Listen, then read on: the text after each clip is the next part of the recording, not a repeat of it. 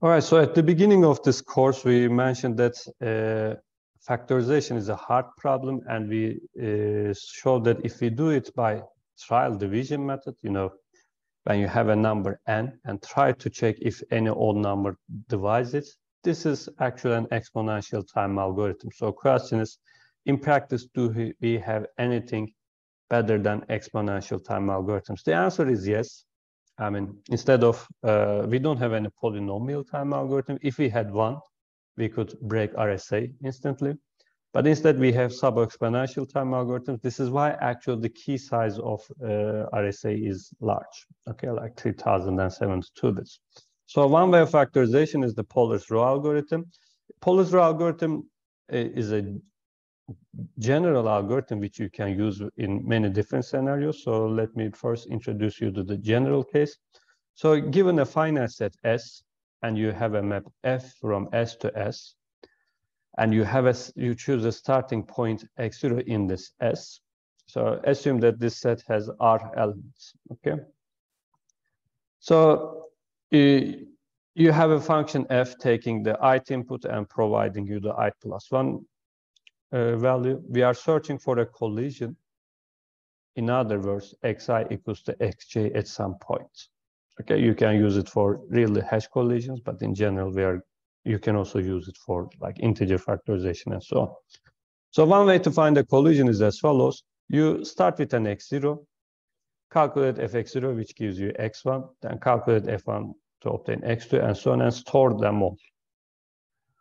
So once you store this value, you can compare if, you know, they are equivalent, but, you know, it will take some time. So idea is as follows. Just check uh, once you calculate the new value, xj plus 1, just check if it is equivalent to any one of the previous ones. Of course, you know, checking one by one, what you can do is to sort them and search them. And sorting and searching algorithms will be really fast when the data is sorted.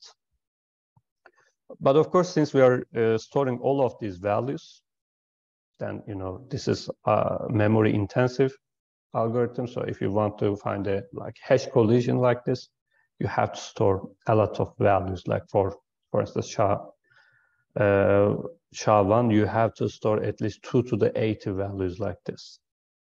So how to reduce memory? If you only check whether xi equals to x2i at each iteration, we will eventually find a collision. So this might be counterintuitive, but the idea is as follows. So you, so you start with x0, you obtain x1, x2, x3, x4. And if there's a collision, at some point, one of these values should come to back to it. So this is why we call it the rho algorithm, because it looks like the Greek letter rho. Okay, so instead of storing any values, you just check at double steps if it is equal to the previous one. So at some point you should have. Because once you start this calculating these values and obtain this rho uh, picture you will be inside this circle. And at some point xi would be equal to x2i so actually you are reducing memory but increasing the time complexity so this is actually a time memory trade-off. This algorithm has complexity o square root of r. So r is the, recall that the number of elements in this set. So actually this determines the uh, this is the reason why we actually double the key size in elliptic curve cryptography and some other public key cryptographic algorithms due to the this square root. Okay. So how you can use it? So this is still a exponential, by the way, not sub-exponential. But you can also use it for factorization. So assume p is a non-trivial factor of n. Choose an easily evaluated map f from Zn to Zn. For example, it can be something simple like x squared plus 1. Choose a starting point x0. Here, a collision will mean xi equal to xj modulo p. But if this is the case, this means p divides xi minus xj. But we also have p divides n, because p is recall that uh, we chose n in RSA as p times q. This is why p divides n. So p divides this and p divides this. This would mean that uh, p divides greatest common divisor of xi minus xj and n. So in practice, this actually would mean that p equals to this greatest common divisor. So compute xi, x2i for each i and check whether the greatest common divisor of this value and n is different than 1 or n. This is how the factorization works when you use the Pollard algorithm. So this was for you know a general case in Pollard you are trying to find a collision. Here the collision would mean that they are equivalent modulo p. Here you this way you can you know use it to check if it is a uh, if it is a, a, divisor of n by this calculation. So this way you know you would obtain p. Okay, so if n equals to p and q, where p and q are two primes of the same size, then Pollard's rho algorithm can find a non-trivial factor of n in all square root of n to the power four steps. This is why in RSA only two primes are used and they are close to each other. As you can see, if you have more primes, then this four will be something like six or eight and so on. This is why we try to choose two primes that are somewhat close to each other, but not too close. If you choose very uh, close prime numbers, it becomes easier to break. But of course, these are this is still uh, exponential algorithm. We actually have uh, sub-exponential time complexity algorithms, which allows us to factorize integers. These are like Dixon's method, which use random squares.